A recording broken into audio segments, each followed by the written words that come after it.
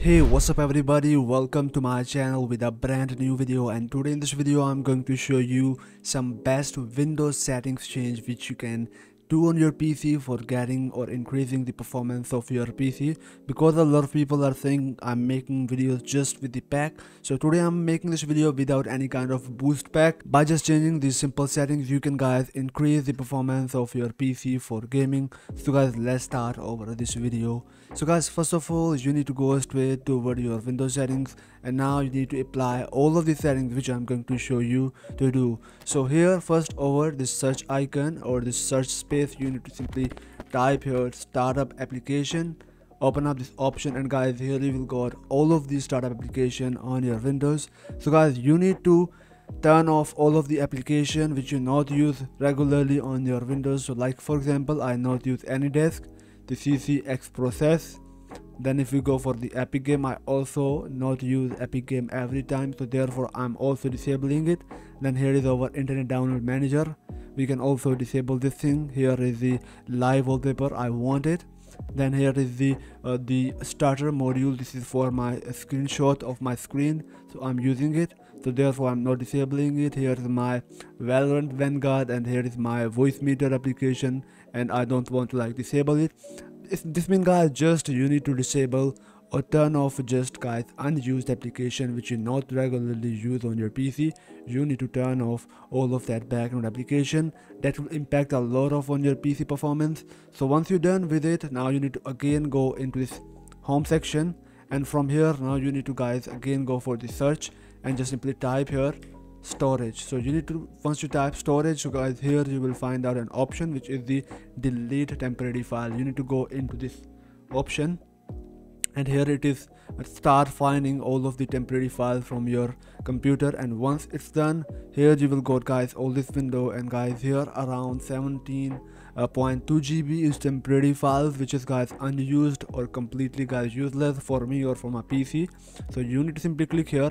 It will start guys finding this file so here 14.2 GB is some my downloading content. So I don't want to remove this file and here is my recycle bin. I also want to delete the recycle bin data. Then here is the device driver package. Then here is thumbnail the microsoft defender antivirus crashes file.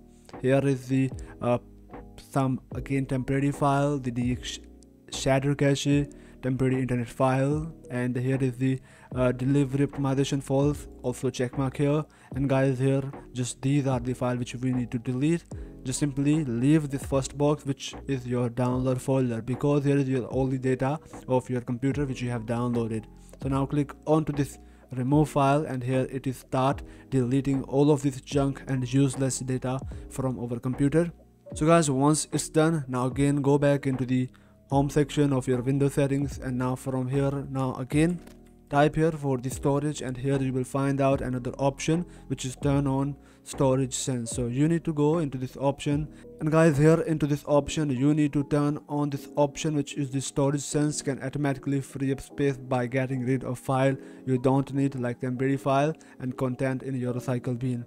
So make sure to turn on this option because this will keep cleaning your all the useless file from your pc in your background. But if you want to guys save more space or more performance so guys simply turn it off. So once you turn it off now let's go for our next settings. You need to go into this home section again. And once you are here you need to go into the update and security. And here guys make sure to always go with the latest version of the windows.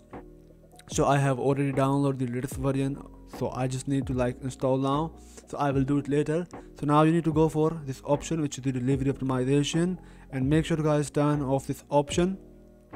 Then go into the advanced settings and here you will find out the settings. Simply guys uncheck these boxes and go with the settings. Now go back. Go onto the main menu.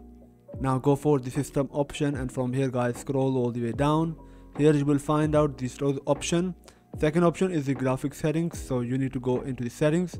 Make sure to guys turn on this option which is the hardware accelerated gpu scheduling. Turn on this option. When you turn it on now go for your this browse option and now from here guys you need to find out your game which you want to play on your pc with the best performance. So like for example i want to add here my fortnite. I will go into the program file then epic game fortnite Fortnite game binary Win64 and uh, add this file go into the options set it onto the high performance hit save. Now let's go for our next game which is GTA 5 so I will again go into the E drive then go for the GTA 5 repack Grand Theft Auto 5 here is the launcher file so I will add it. Go for the option set it onto the high performance and hit save. Once you're done guys now you need to simply turn it off. And now guys you will get a huge performance difference on their windows by disabling or changing the settings. So guys i hope so. You love it. So please make sure to drop a like on this video. Subscribe to my channel. Turn on the bell notification. And guys also leave the honest opinion about this video in the comment sections. So till at the next video guys. Peace out